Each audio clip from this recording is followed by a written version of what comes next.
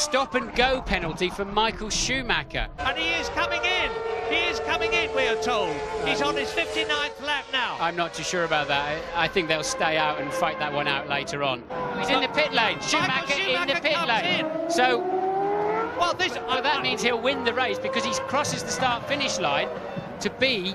Uh, he crosses the start finish line now, I believe. Well, to, yes, it's lap 60 to take his penalty. But the race is over, surely. But they've repositioned the start, but the finish line and therefore the timing beams are back there at Woodcote. Michael Schumacher's pit is past that point.